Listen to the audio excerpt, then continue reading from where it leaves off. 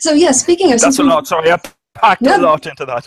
well, I was trying to decide if you if I should continue on the issue of ontology or switch more over into the social sciences and get your take on the your take uh, as someone who's in the natural science field on the social sciences. And we're going to stipulate that some yeah, people no, have wacky ideas, and that's that's fine. But in the main, no, that's fine. I think, and again, um, those wacky ideas, we do we do need to come back to those. I think because I think they do your field a great disservice. Um, and indeed, in some cases, they do feminism a great disservice as well.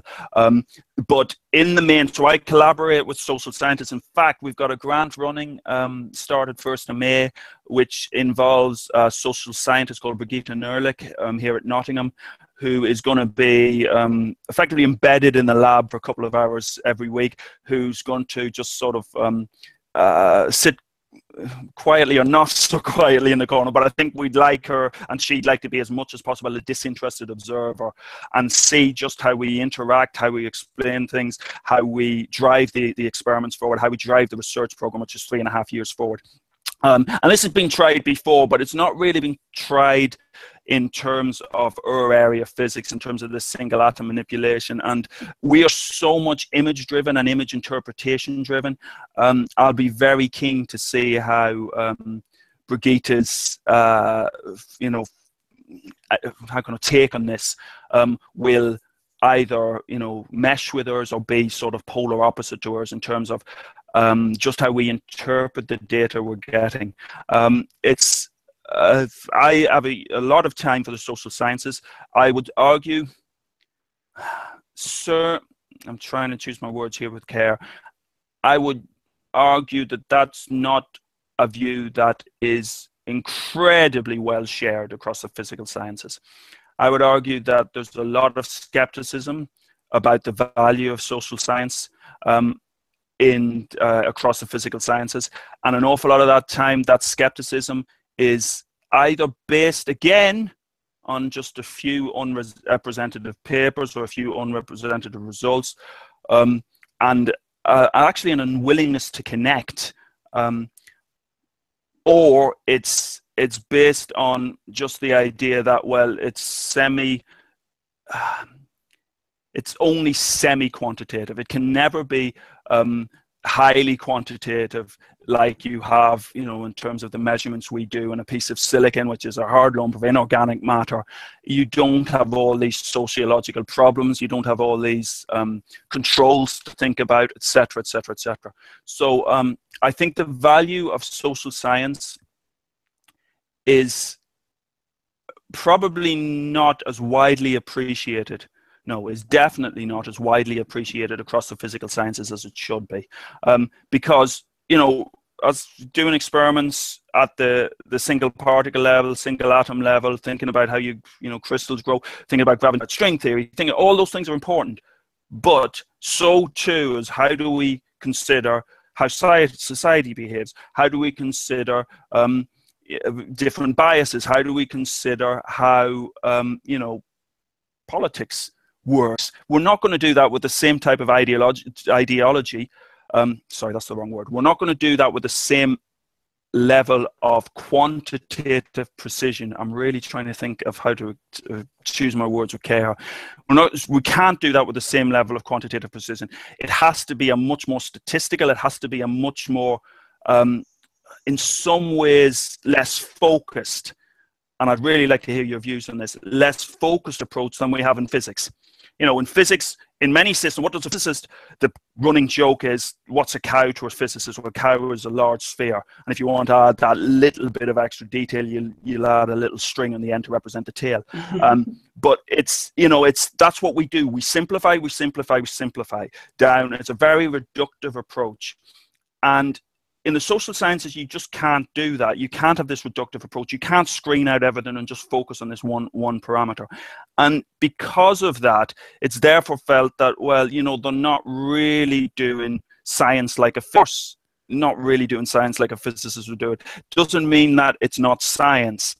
So it's um, yeah, I think there's there's a great deal of ignorance as well in some quarters, not in all quarters. I there's there's um, I think things about something called the impact agenda in the UK, and I've been a major um, uh, critic of it over the years, but I think one of the good things is that it started to connect the social sciences with um, the physical sciences a great deal more, and we need more of that. We really need more of that.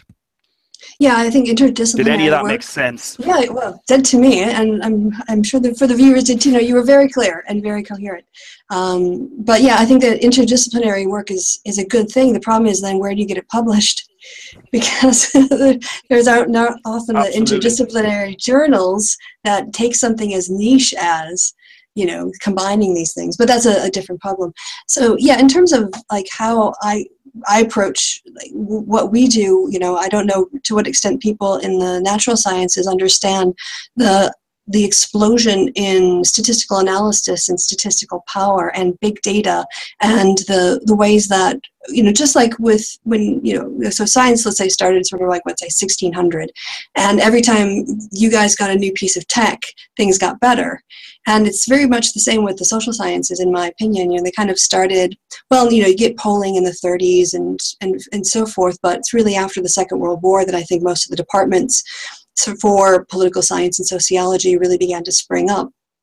And we had very crude instruments. We had very crude survey instruments, and we've been re- refining them and improving them over time. But most importantly, when computers came around, we had the ability to do more statistical analysis than had ever been really possible when you were stuck with cross tabulations um, and you know small sample sizes of like around 150, and that would take you a really long time.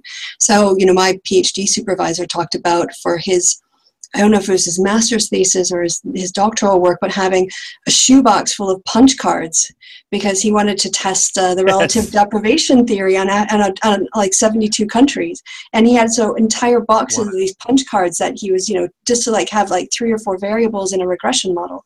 Well, now. It's heroic. It is heroic, yeah, but he thought it was, you know, time saving compared to doing it by hand. Yeah. Yeah. But now we have the ability to, you know, we're, we're getting into the era of, of big data um, releasing your data set with it with your publication is now becoming standard in a lot of social science journals so people can replicate your work.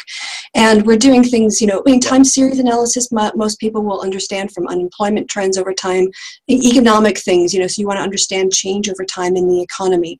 Um, but also we're doing things like multi-level modeling controlling for the individual level the the neighborhood level and then the state level to try to isolate factors that are um, operating at different levels of social influence We've got, you know, structural equation modeling when we're looking at latent variables to try to see if the latent constructs of a set of questions in, in an international survey are the structural equation model that fits underneath is consistent across countries.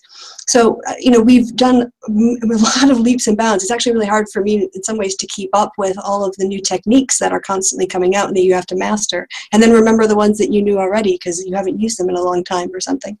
So, what we do in the social sciences is yeah it's it's a fuzzier let's say here's a perfect example perhaps when i see the results of like the clinton trump matchup in the us and let's say the poll has her at 44% and him at 41%, and the margin of error of that poll is 3%, I add 3% plus and minus to both of those because I know it's not a fixed point, it's a band. And that's why we in the social sciences work with margins of error. We can tolerate a p equals is equal to or less than 0.05 because it doesn't matter like it would in medicine. If you've got a bit of error in the social sciences about the age effect, that's not going to kill anybody. But in medical sciences, you need things really, really precise with a high p value um, or you know I'm sorry, low p-value, p equals 001. So we're, it's all about kind of like looking at those trends over time rather than making really precise estimates. And so I think that, yeah, when, you, when you're a hammer, every problem looks like a nail. And so I think maybe the, the disconnect there is we're being as rigorous. It's just that we, we have to be fuzzier and more tentative in our answers in order to make sure that we don't say things that are inaccurate. And maybe that makes us sound Absolutely. softer, no. but it makes us actually more honest. more honest. Absolutely. No, this this is exactly it. And in fact, you know, the, the key thing, and coming back to Feynman again, is what's the sort of underlying, a key underlying characteristic of so much science is uncertainty. Is that we can't, you know, one thing that does drive me up the wall, and some people who say it's a matter of semantics. I would argue it's not a matter of semantics. I spent some time in the fourth year course talking about this. You know, you'll see time and time again, particularly in these YouTube threads, is that this paper proves or this piece of science proves. Science doesn't prove anything. Now that might come across as a you know a very semantic, but it's not. It's fundamental. Proof is a concept in pure mathematics with science, we don't, we never prove anything in that, in that mathematical sense.